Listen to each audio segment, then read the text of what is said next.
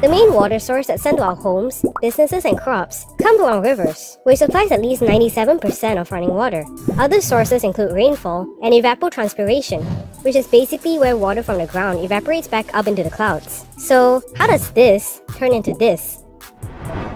Let's take a look at how it's treated.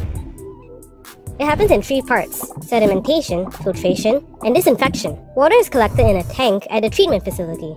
Sedimentation is where water sits undisturbed in this tank. Solid particles like rocks and clay from the water sink to the bottom to separate them. Some particles are too small to be removed here, so it needs to be filtered. Gravity then pulls the water down through layers of sand where oversized particles in the water can't pass through leaving what's left of the water to be disinfected. The water is then treated with chemicals like chlorine to kill biological toxins. These are disinfection standards that are up to par with the measures set by the World Health Organization. Some countries even use fluoride, which supposedly improves dental health for the public. So, what's wrong with drinking your tap water? In 2018, the Water, Land and Natural Resources Minister Xavier Jayakumar said that it was 100% safe to drink water directly from the tap and that he himself drank tap water. In terms of tap water, it's treated with chlorine. The bacteria inside have already been killed. The thing is, our water itself is clean, but the pipes aren't. To get into our homes and businesses, the water has to go through the water pipe system. A lot of these pipes are old, dirty, and rusty, and the water traveling through them gets contaminated with iron. Although some chlorine and iron content is safe to drink, the taste might not be too pleasant to some.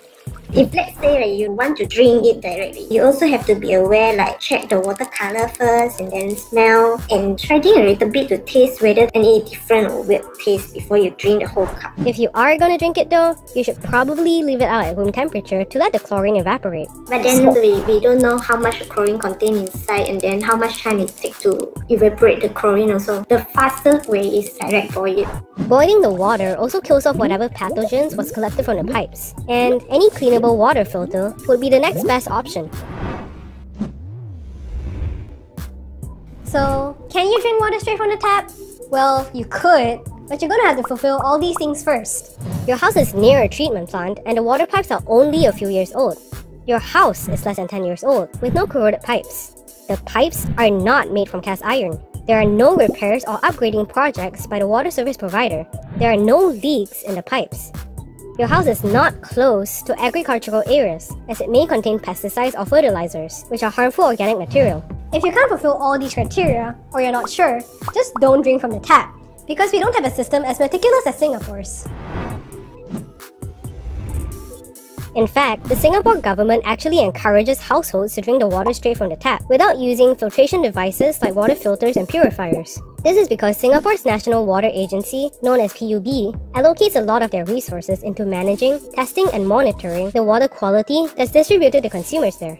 Building managers must even submit annual inspection and disinfection reports of their rooftop tanks to the PUB, and the PUB may even take water samples to spot check. This is similar in Japan too. So back to Malaysia's pipes. What if you think you're smart and manage to skip all these pipes and get your water straight from the source, with your own clean pipes? Well, this restaurant in Hulu Langat did exactly that. They were found illegally tapping water from Syabas for their business, as well as for the hostel housing their restaurant's workers. They were slapped with a water bill and fine of almost 180,000 ringgit.